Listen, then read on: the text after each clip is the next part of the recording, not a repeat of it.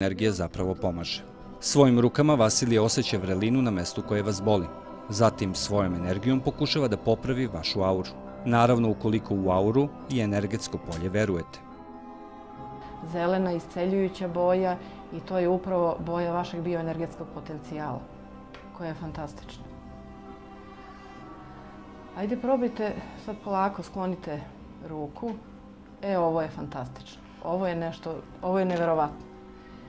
Nikada do sad nismo imali prilike da vidimo da neko ko ne drži ruku na senzoru ima, evo, toliko dugo da drži upravo taj energetski... Stavite ponovo ruku i kako se pokazala, pokazala se, znači, pogledajte vaš misalni proces sad. Pogledajte koliko se menjaju podaci u našoj auri.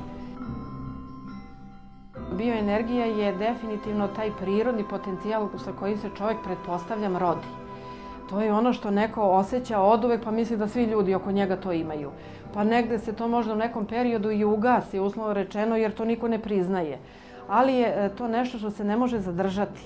Vrlo je bitno da e, svaki bioenergetičar, pa naravno i naš Vasilije, mora da zna kako da očuva svoju energiju. On je izuzetno samo regenerativan, to smo videli na aparatu, ali onog momenta kada, je, kada radi na klijentu, on preuzima i energiju klijenta.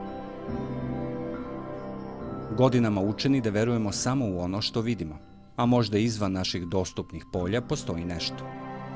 Naša aura definitivno ima pre svega zadatak taj zaštitni, da nas štiti od zračenja kosmičkog, tehničkog, geopatogenog, ali istovremeno zračenja misli, namerno usmerenih tuđih misli.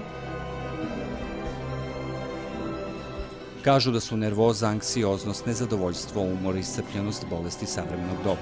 Ne treba da te držim. Ideš prema meni. Ali Vasilije tvrdi da i za njih ima leka. Verovati ili ne, odgovor znate samo vi. Marija, gledaj u me. Marija, gledaj. Bravo, bravo, Marija. Bravo, možeš, možeš.